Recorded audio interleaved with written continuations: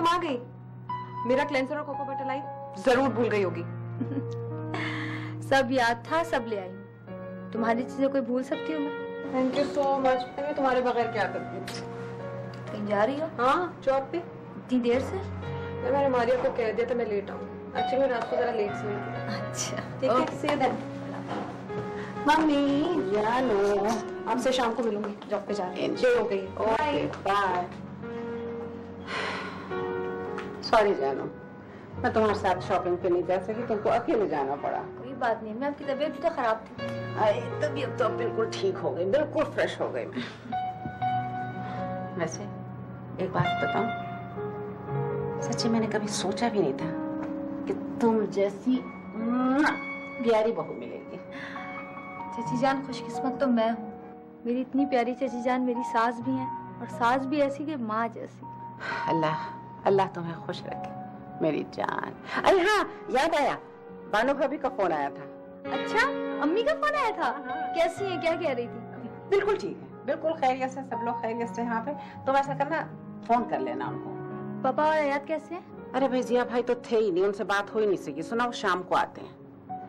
और याद भी इत्तेफाक से कहीं गया बता। हाँ मुझे ये याद है गया बता। हो ऐसा करना असद आ जाए। तब तुम फ़ोन कर लेना उनकी भी बात हो जाएगी उन लोगों से। ठीक है ना? ओके। आपको पता है मैंने आज सबके लिए खाने में क्या बनाया? क्या बोले कीमा करेले। मेरी मेरा बच्चा सच्ची बताऊँ मेरी औलाद ने कभी मुझे इतना ख्याल नहीं किया जितना तुम करती हो।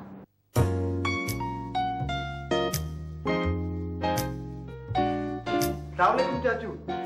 आप कैसे हैं? और उमैर और सहीफा सब ठीक है सब ठीक ठाक है। जरा जिया भाई को दो बेटा। जी जी जी। अबू इधर ही है ये बात करें हेलो? सलाम जिया भाई। वालेकुम सलाम वालेकुम मैंने एक तफसीली खत आपको लिखा है। अब उसका जवाब प्लीज़ ज़रूर दे दीजिएगा। जी जी सब ठीक है सब खैरियत है बिल्कुल खैरियत है। ये सहीफा से बात कीजिए आप प्लीज़ हेलो? सलाम वालेकुम अब्बू कैसी हो बेटी? जी मैं बिल्कुल ठीक हूँ। जी अम्मी से बात कराएँ। लो अच्छा अच्छा अच्छा। अपनी अम्मी से बात कर लो पहले। सही बात सफी बेटा कैसी हो? अरे तुझे देखने को तो मेरी आँखें तरस गई अरे मैं नहीं आ सकती तू तो आ सकती है। तेरी तबीयत तो ठीक है? जी अम्मी मैं मैं बिल्कुल ठीक हूँ। आप कैसी हैं? आयात? कैसा है? ये तेरी आवाज़ को क्या हो गया? दिखा हेलो? सफी? सफी?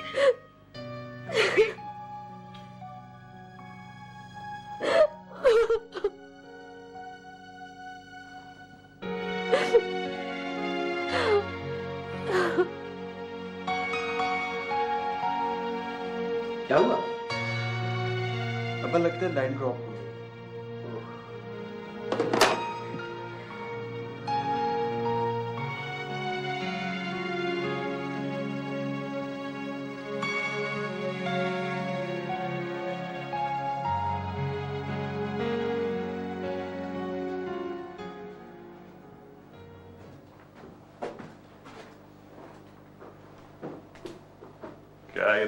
टिक्की पटकी रहती हो हाँ?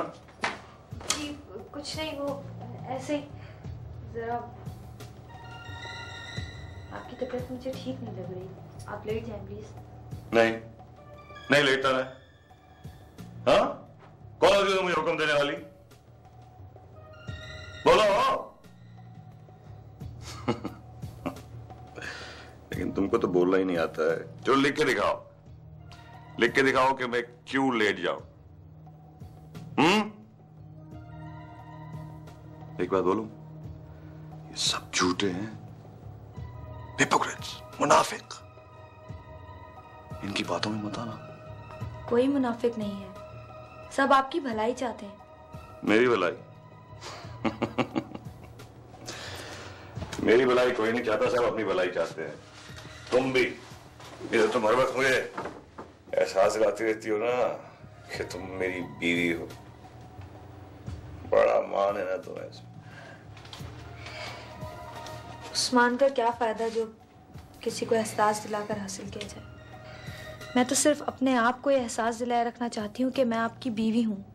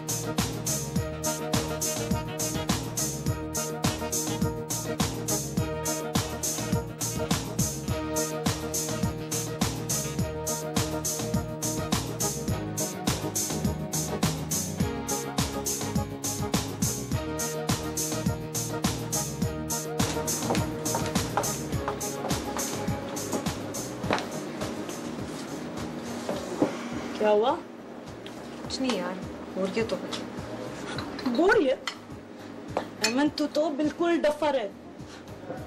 ये ज़िंदगी एक बार मिलती है उसको पूरी तरह से एंजॉय करो। एंजॉय करो। मेरे जो माँ बाप है ना वो ये समझते हैं कि ज़िंदगी में सबसे बड़ी इंजॉयमेंट मेरी ये जॉब है।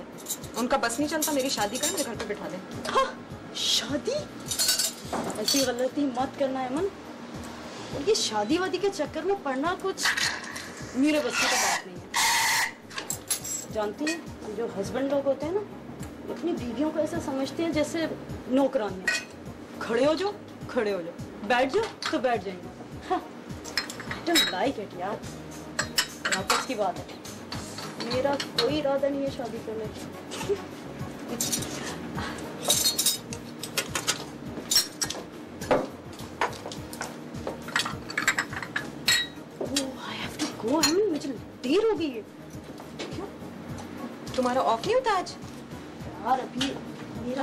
ऑफ़ नहीं होता।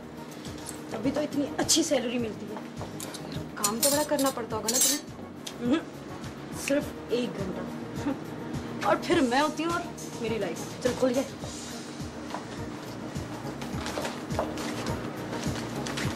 ज़्यादा डिप्रेस मत हुआ कर। हंस स्माइल यस गुड चल मैं चलती हाँ बाय बाय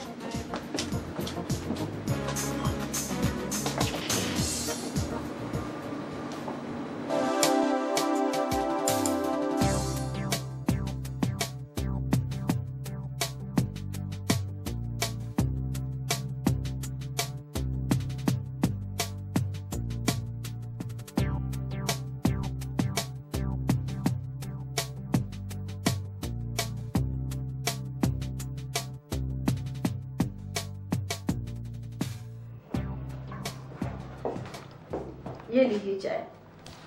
शुक्रिया।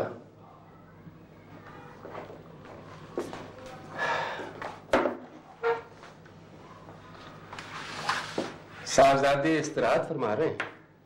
क्या? क्या फरमा रहे आराम। ओफो एक तो आपने जाने कौन सी जबान के इतने मुश्किल अल्फाज सीख लिए हैं। बेगम साहिबा उर्दू में मुश्किल और आसान सारे लफ्ज मौजूद हैं। बस मुश्किल सिर्फ़ ये है कि आप और आपके साहबजादे मेरी बात समझते नहीं है। अच्छा ठीक है। आप ये बताइए क्या बता रहे थे? मैं ये कहना चाह रहा हूँ। कि अपने साहबजादे को बता दीजिए कि अगर लैला मजनू मिल गए होते तो उनकी दास्तानें मशहूर ना होती। वो जूतम पैजार हो रही होती। कि दुनिया देखती तो इसमें आयात का क्या ताल्लुक? बेगम साहब अगर इसी तरह औंधे पड़े रहे तो फाके पड़ जाएँगे। सारा इश्क धरा का धरा रह जाएगा। और ये भी कह दीजिएगा कि लड़की का बाप बहुत अक्लमंद था। और लड़की? लड़की तो उससे भी ज़्यादा अक्लमंद साबित हुई है। सारी बेअकली हमारे लड़के के नसीब में आई है। अब तो खाम खा उसकी जान को आ गए। अब इस बात को एक अरसा बीत गया है। आप क्यों दबी हुई चिंगारी को कुरतते रहते हैं? बेगम साहिबा चिंगारी दबी नहीं है। सरफ नज़र आप कर रही हैं। मैं बैठू या चली जाऊँ? वो तो आपको कुछ नहीं कहता। आप ही बोले चले जाते हैं उसके बारे में। देखिए मैं ज़िंदगी गुजारने का गुर बता रहा हूँ। इसकी बराबर के ये लड़के कहाँ से कहाँ पहुँच गए और ये कोलू के बैल की तरह एक ही जगह चक्कर पे चक्कर लगा रहा है। अल्लाह भला करे असद मियाँ का कि उन्होंने हमारी बेटी को अपनी बहू बना लिया। वरना आज इसकी बहन और ये दोनों यहीं पे पड़े होते। कोई पूछने वाला ना होता। कहाँ जा रहे हो? अयान सुनो तो। इतनी देर से कह रही हूँ। बच्चा उठ गया है वो सुन रहा है बोले चले जा रहे बोले चले जा रहे।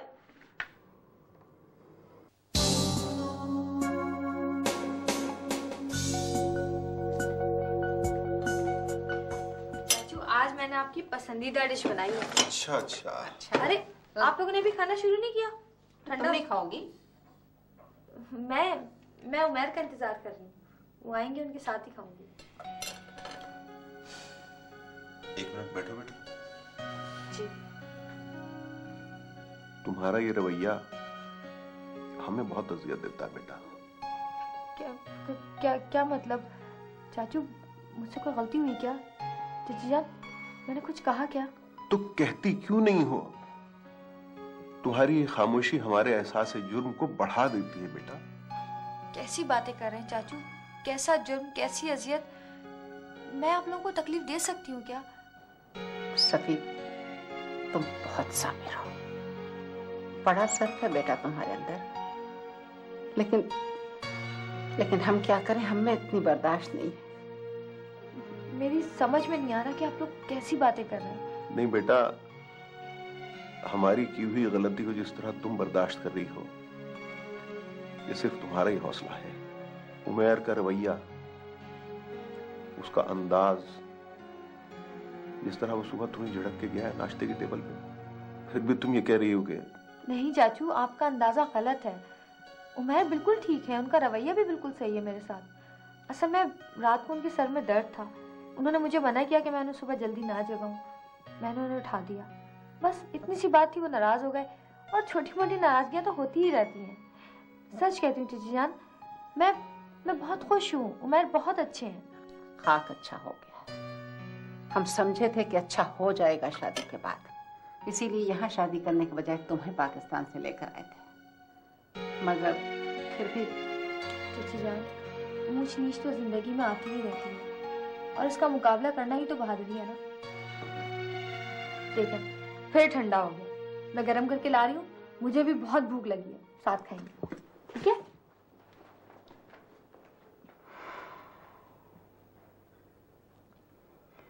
चले आप प्लीज़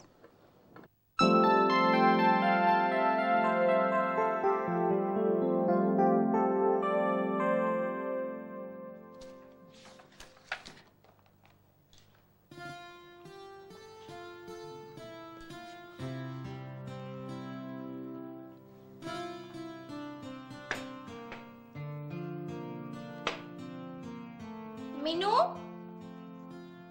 मीनू? हाँ चीज़ क्यों रही है? वो आज तारीख कौन सी है? क्या चीज़ चीज़ नहीं तारीख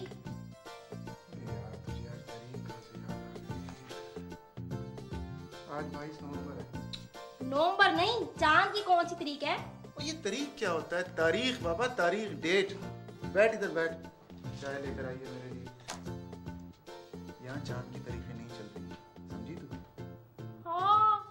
पिंड में तो लोग सारे चाँद की तारीख से चलते हैं। तुझे नहीं मालूम? तू तो ऐसा मासूम बन रहा है। तेरे पिंड में चलता होगा रानी यहाँ ऐसा नहीं होता बाबा यहाँ ऐसा नहीं होता। तू भूल जा तू अब तू गैर मुल्क में बैठी है पिंड की बातें करती है। तो तो यहाँ के लोग ईद उद कैसे मनाते हैं? मनाते हैं ईद मनाते हैं। रमज़ान आता है रोज़े रखते हैं ईद मनाते हैं सारे मुसलमान ईद मनाते हैं। मैं तुझे ऐसा करूँगा रानी मैं तुझे कैलेंडर ला के दूँगा ठीक है? तू उससे देखना चाँद की जाएगी पर एक बात बता रानी तेरी मेरी शादी को कितना टाइम हो गया? एक ही साल हुआ है। तो एक ही साल हुआ है तो तुझे समझ क्यों नहीं आती कि कैसे बात की जाती है यहाँ पे? एक ही साल हुआ है चाँद की तारीख क्या है? और काम कर रहा है अगला आगे से आके तू चीखने लग गई। मीनू मीनू। नहीं तो यहाँ जो शबरात और रमज़ान ये सही तरीकों पे भी मनाते हैं कि नहीं? सब मनाते हैं बाबा। मैं तुझे कह रहा हूँ मैं तुझे कैलेंडर ला के दूँगा तेरे सब समझ आ जाएगा शाबाश। तो वो कैलेंडर ये वाला नहीं होगा? ये नहीं चलता उसमें वो दूसरा है मैं तुझे ला के दूँगा। अच्छा। समझ गई क्या? मीनू पता है बाले की माँ का खत्ता है फिर से। अरे इतनी अच्छी अच्छी तरकीबें भेजी हैं स्वेटर बनाने की। मैं तेरे लिए स्वेटर बनाऊँगी लाल गुलाबी मरून और उसमें हरे रंग का धागा लगा के खूबसूरत खूबसूरत डिज़ाइन बनाऊँगी। देख रानी मेरी बात सुन ले। ये जो बाले की माँ है ना तो उसकी जो खाने की जो तरकीबें सीख के आई है ना वो मैं भुगत रहा हूँ अभी इधर। और तू आगे से अब ये स्वेटर जो लाएगी ना बुन के किस रंग का कहती है तू मुझे स्वेटर पहनाएगी? लाल गुलाब। शाबाश शाबाश। लाल रंग का स्वेटर तू मुझे पहना ताकि रोडों पे मैं कार्टून लगूं। नहीं नहीं ऐसी बात नहीं मीनू। बड़ी खूबसूरत खूबसूरत तरकीबें हैं उसके पास। वो चूहे भी मारती है घर में है? और चपकलियाँ मारती है। पता नहीं क्या अंडे उंडे रख पता नहीं क्या करती है वो। लेकिन यहाँ तो बस ना बस बस बस बस बस। अभी मैं रानी आगे से तुझे वार्न कर रहा हूँ। खबरदार जो तूने आइंदा से बाले की माँ का नाम लिया मेरे सामने। बात सुन रानी। ओ रानी प्रिंसेस तू चाय लेके आई है मेरे लिए। मैं ऑफ़िस का काम कर रहा हूँ। तो बस तू मुझे काम करने दे। चाय इधर पड़ी है, मैं चाय पी ठीक है? ऑफ़िस का काम बाद में कर लेना। पहले चाय पी ले, चाय ठंडी हो जाएगी। जब तक मैं तरीके तो लगा लूँ चाँद की, है?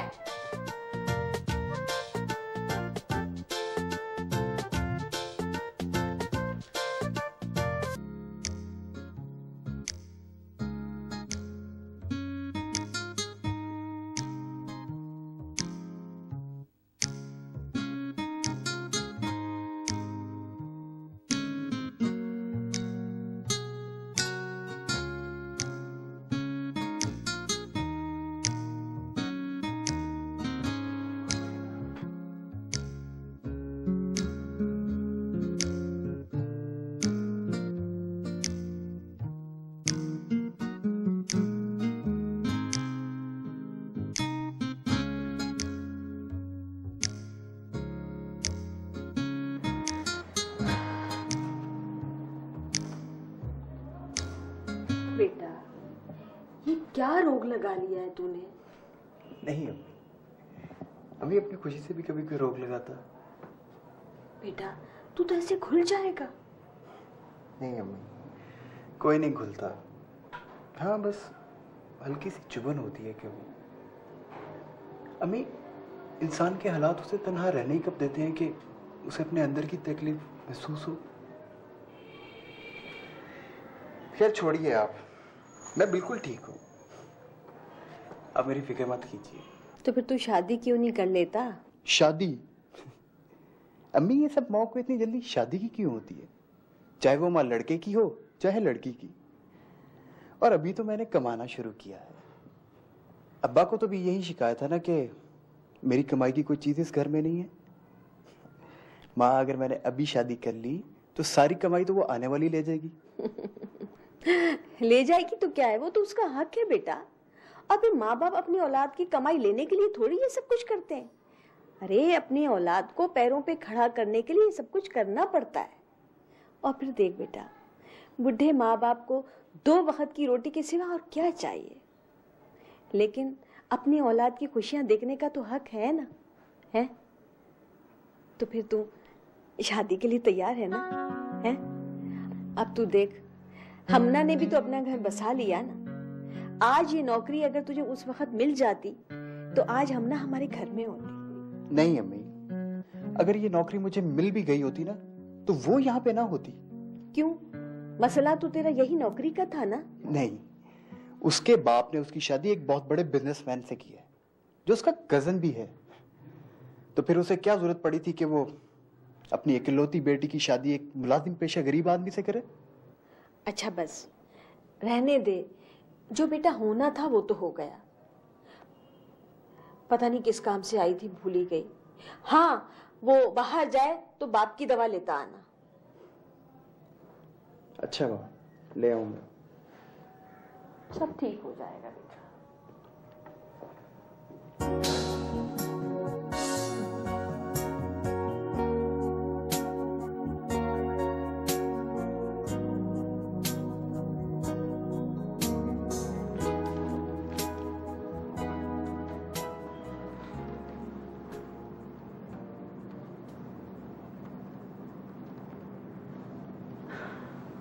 आए नहीं है दोनों अभी तक? कहाँ है? कोई भी नहीं आया अभी तक। उमर की खैर मुझे कोई फ़िक्र नहीं है। लड़का है। मगर अहमद तो आप लोग तो खाना खा लें। क्यों परेशान हो रहे हैं? उन लोगों का तो कुछ पता ही नहीं है अभी तक। हेलो मामा हेलो पापा। हेलो जानू लड़की तुम्हारी? जी। प्लीज़ मुझे बहुत भूख लगी है। मुझे खाना चाहिए। अच्छा लगाती हूँ अब खाना चाहिए। तुम सुधर नहीं सकती। जरा जल्दी नहीं आ सकती घर? को ना मामा फिर वही बातें ना करें ना प्लीज़ अब उमेर का इंतज़ार तो बिल्कुल बेकार है। वो साहब बादल तो आएँगे नहीं। हम्म, ठीक है खा लेते हैं। मगर सुने आप उमेर से बात ज़रूर कर लें प्लीज़ बात तो मैं उनसे कर लूँगा लेकिन उनका जवाब है मुझे मालूम है। पापा प्लीज़ अभी चले अच्छा अच्छा चलो चलो भूख लग रही है इतनी देर से मुझे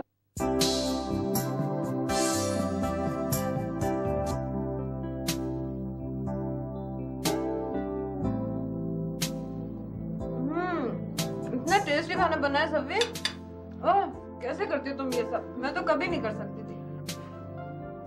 दुनिया का कोई काम भी मुश्किल नहीं होता है मन। पाकिस्तान में तो हर लड़की खाना पकाना घर संभालना सिलाई कढ़ाई सीखती है। और औरत को तो करना भी यही होता है। औरत अगर खुद घर ना संभाले तो कितनी मुश्किल लाइफ होगी ना पाकिस्तान में? एमन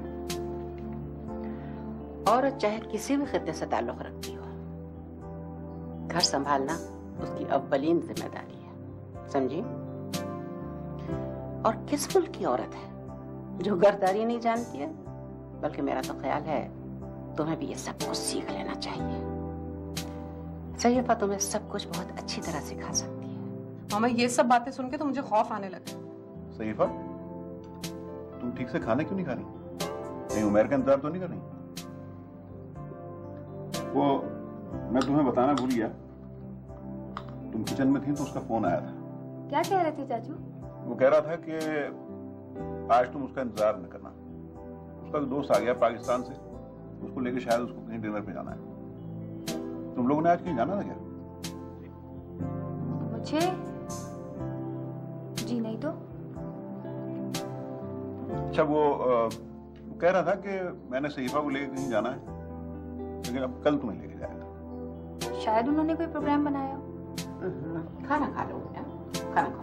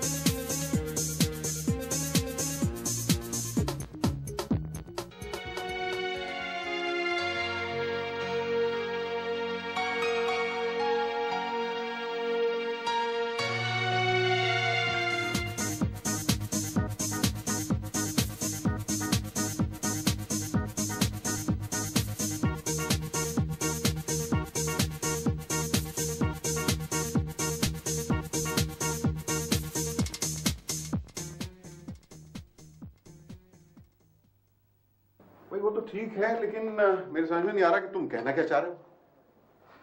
देखिए डैड मैंने आपसे प्रॉमिस किया था कि मैं शादी करूँगा उस लड़की से। मैंने शादी की। और आपने मुझे प्रॉमिस किया था कि ब्रेड एंड ब्रेकफास्ट का बिज़नेस एस्टैब्लिश करके देंगे मुझे आप। तो फिर क्या हुआ? मुझे अपना प्रॉमिस याद है। मगर मुझे एक बात पर बड़ा अफसोस है उमेर कि तुम एक लड़की के साथ सिर्फ़ इसलिए ज्यादती कर रहे हो कि तुम्हारा तुम, तुम्हारे साथ किया हुआ वादा पूरा नहीं हुआ? डैड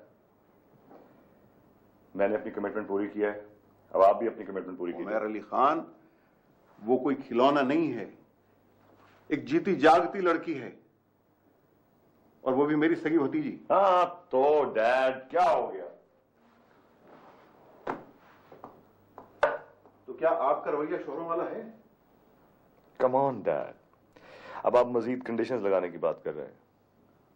वो मेरी बीवी बन चुकी है और गालिबन बहुत खुश है इस बात पर। तो इसमें आपका तो कोई कमाल नहीं हुआ। ये तो उसकी खूबी है।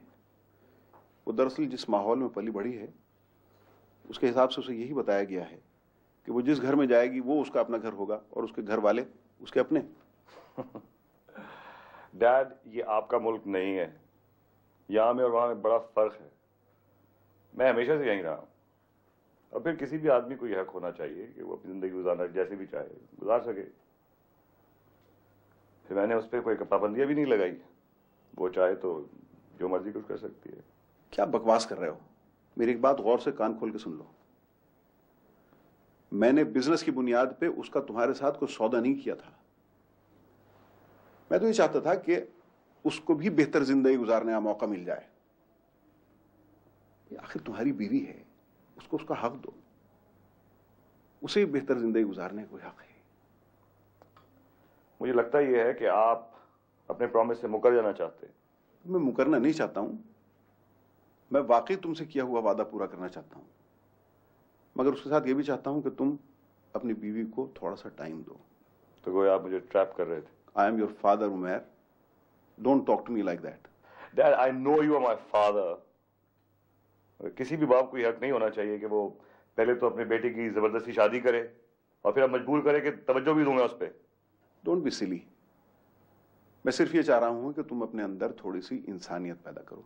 चलें डैड ऐसा करते हैं कि हम तय कर लेते हैं। कुछ मैं कमिटमेंट करता हूँ और आप फिर देखते हैं कि उसके अगेंस्ट आप क्या करेंगे। फ़िलहाल मेरा सिर्फ़ एक काम कर दो। मैंने एक्चुअली उससे झूठ बोला था कि तुम उसे कहीं आउटिंग पे लेके जाओगे। बस इतनी सी बात है डैड चलें ठीक है। ये भी करके देख लेते हैं आपके लिए।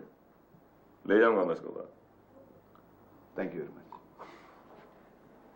come on आखिर क्या हो गया? ये बात समझता क्यों नहीं है? आप बात ही ऐसी करते हैं। वरना वो क्या पागल है? और क्या पागलों के सींग होते हैं? हैं? अरे इतना अच्छा ऑफ़र मिल रहा है। असद ने उसे बुलाया है। वहाँ जाएगा तो मुस्तकबिल समझ जाएगा। आप तो पता नहीं कैसी बातें करते बेटी पहले ही इतनी दूर परदेश में बैठी हुई है, जिसकी सूरत देखे हुए बरसों बीत गए। एक बेटा है, जिसका मैं सारा दिन इंतज़ार करती हूँ। शाम को वो घर में आता है तो चहल पहल सी होती है। उसे भी आप बाहर भेज देंगे तो मैं क्या करूँगी देखो भाई अब हमें तुम्हें क्या करना है? अब तो बच्चों की ज़िंदगी संभालने के दिन है ना। देखो यहाँ रहेगा तो इसी चार हज़ार रुपए पे मेहनत करता रहेगा और वहाँ चला जाएगा। तो वहाँ तो ऐसी दस नौकरियाँ उसे मिल जाएँगी। फिर साथ में पढ़ाई भी कर लेगा। तुम तो असद के कारोबार को जानती हो। मैं कुछ नहीं जानती। आपने हमेशा अपने फैसले मुझ पर मुसलत किए। आप जाने आपका बेटा। मैंने तो यूँ भी सारी ज़िंदगी घुट घुट कर गुजारी है। बाकी ज़िंदगी भी मैं अपने बच्चों की सूरत देखने की दुआएँ कर करके गुजार लूँ। अच्छा अच्छा। तुम घबराओ मत। मैं उससे बात करूँगा? कहाँ गया बताओ मुझे। वो वकार के यहाँ गया। उसके भाई का इम्तिहान है उसे तैयारी करवानी थी। अच्छा। ठीक है। मैं सोचता हूँ कि पहले असद को खत लिखकर समझा दू सब कुछ। वो बेटी के लिए भी दो सितरे लिख देना परदेश में खुश हो जाएगी। हो।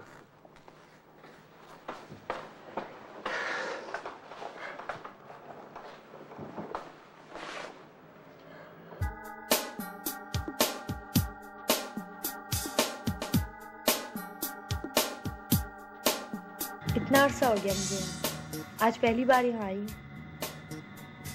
इसमें मेरा तो कोई कसूर नहीं है। बात सुनो तो हमारे घर में परेशान तो नहीं हो? नहीं। क्यों? नहीं वो पापा मुझे कह रहे थे कि शायद मेरा रवैया तुम्हारे साथ ठीक नहीं। नहीं तो मैंने तो ऐसा कुछ नहीं कहा। कहा नहीं है तो फिर एहसास दिलाने की कोशिश की होगी। हो सकता है कि आपको कोई गलत फहमी हुई हो और पापा को भी। पापा की गलत फहमी तो तुम दूर कर देना हुँ? तुम्हारी भी कुछ गलत फहमी मैं दूर कर देना चाहता हूँ। देखो मैंने एक बहुत आज़ाद ज़िंदगी गुजारी मैं किसी किस्म की पाबंदी बर्दाश्त नहीं करता किसी किस्म की भी नहीं। जैसा हूँ वैसा ही रहूँगा। तुम भी चाहो तो जो मर्ज़ी करो। मेरी तरफ़ से तुम्हारे ऊपर कोई पाबंदी नहीं है। देखिए उमैर ये मेरी खुशकिस्मती है कि बदकिस्मती के मैंने जिस घराने में परवरिश पाई है वहाँ हमेशा यही कहते सुना है कि शौहर औरत की ज़िंदगी होता है और शोहर की खुशी उसका नसबुल लहर। यहाँ इस किस्म की ज़िंदगी नहीं गुजारी जाती। मैं आपकी बीवी हूँ उमैर और मैं यहाँ खुद नहीं आई। आपके वालिदैन मुझे यहाँ ब्याह कर लाए हैं। ये गलती ममा और पापा की थी। आप भी तो साथ थे। नहीं मेरी मजबूरी थी। पूछोगी नहीं कि क्या मजबूरी है? क्या करूँगी पूछकर? यही काफ़ी है कि देखो मैं तुम्हें जो यहाँ लेकर आया हूँ ना इसका कोई रीजन है। कि जो कुछ भी हुआ उसका किस्सा कुछ यूँ है कि पापा ने मुझे प्रॉमिस किया था कि अगर मैं उनके भाई की बेटी से शादी कर लूँगा तो मुझे ब्रेड एंड ब्रेकफास्ट का बिज़नेस स्टैब्लिश करके देंगे।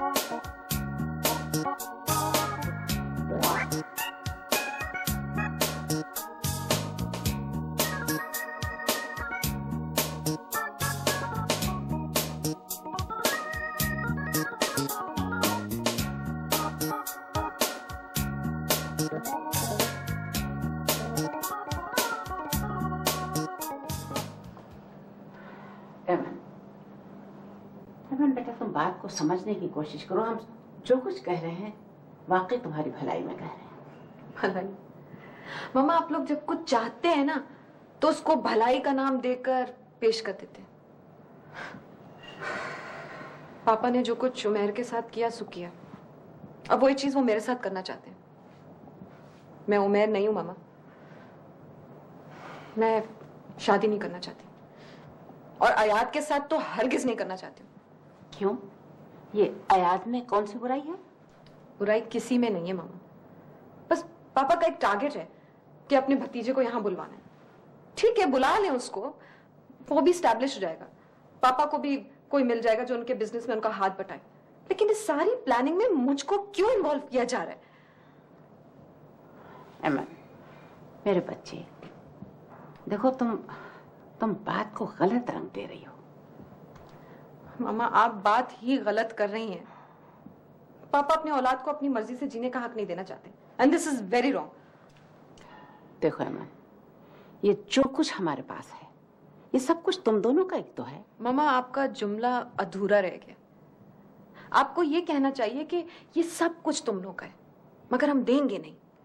फजूल बातें मत करो एमन तुम्हारे पापा तुम्हें सब कुछ देना चाहते हैं मगर मगर उनकी कुछ शरायत हैं। कुछ कंडीशंस हैं। जैसे उमेर की शादी उन्होंने उसकी मर्ज़ी के खिलाफ कर दी। सिर्फ़ इसलिए कि उनकी भतीजी ठिकाने लग जाए। उन्हें इस बात से कोई गर्ज नहीं है कि उस भतीजी का क्या हशर हो रहा है। उन्होंने जो जो उमेर को सरमाया देने का प्रॉमिस किया था, वो भी पूरा नहीं किया। मामा, आप जानती हैं कि मैं क्या चाहती हूँ। मेरे कुछ ख्वाब हैं। और मैं उनको पूरा करना चाहती हूँ। मैं शादी करके अपने हुकूक से दस्तबरदार नहीं होना चाहती। एमन एमन मेरी जान मेरे बच्चे देखो देखो तुम्हारे पापा तुम्हारी हर ख्वाहिश पूरी करने को तैयार हैं। तुम रेस्टोरेंट खोलना चाहती हो ना? वो तैयार है खुलवा देंगे तुम्हें रेस्टोरेंट मगर बस अच्छा तो कंडीशंस तय हो चुकी हैं। मामा आप पापा से कह दीजिएगा कि मैं बेवकूफ़ नहीं हूँ। मुझे देर हो रही, मामा। मैं जॉब पर जा रही हूँ। एमन एमन, बात तो सुन जाओ।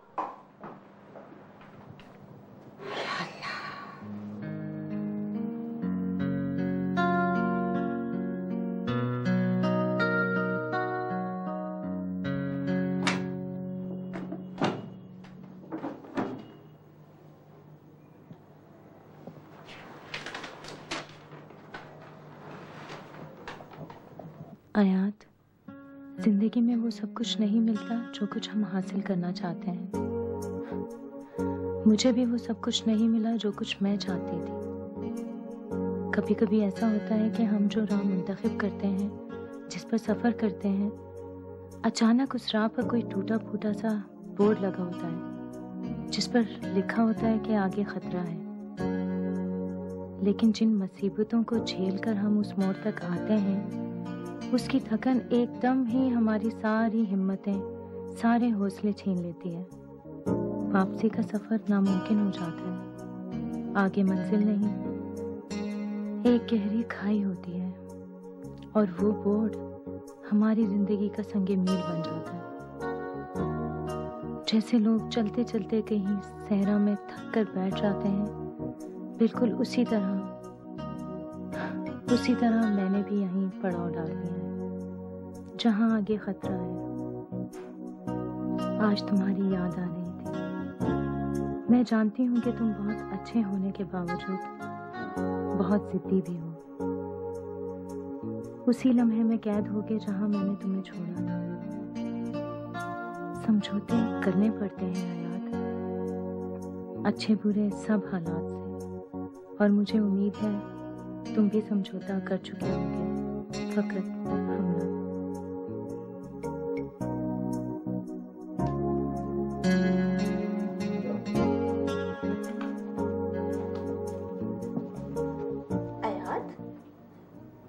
तुम ऑफ़िस नहीं गए? मैं तो समझी तुम ऑफ़िस चले गए। नहीं अम्मी आज मैं ऑफ़िस नहीं जाऊँगा। अरे तुम ही तो कह रहे हो कि तुम्हारा बॉस बड़ा सख्त है। वो फिर कुछ नहीं होता अम्मी। बस आज मैं ऑफ़िस नहीं जाऊँगा। अम्मी यहाँ वो आप जब जाएँ तो प्लीज़ दरवाज़ा बंद कर दीजिएगा। ठीक है मैं जा रही हूँ। क्योंकि जूते तो उतारो जूतों के साथ बिस्तर पे चढ़ के बैठ गए हो। उतार लेता हूँ अम्मी आप प्लीज़ दरवाज़ा बंद कर दीजिएगा। मुझे कुछ समझ में नहीं आ रहा है।